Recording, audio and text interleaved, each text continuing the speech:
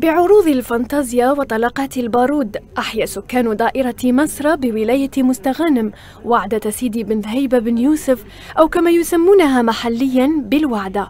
التي تعد فرصة لالتقاء الزوار من مختلف ولايات الوطن لإحياء العادات والتقاليد. نحيي ذكرى الأولياء وذكرى الصالحين. نجتمع على الطعام نجتمع على المحبة نجتمع على الأخوة.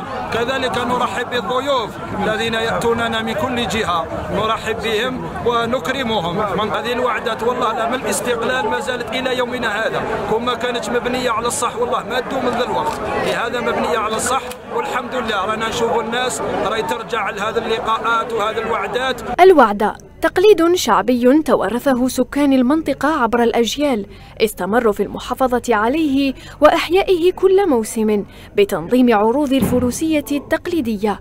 طعام يتلاقاو بيتلاقاو بيتلاقاو الناس بالضيوف وبالفرح وبالطعام وبالعريضه وبالخيرات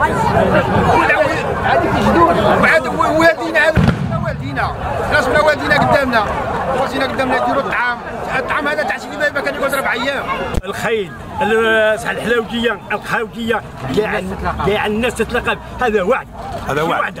هذا وعد وكاع الناس تلقى الوعدات الشعبية.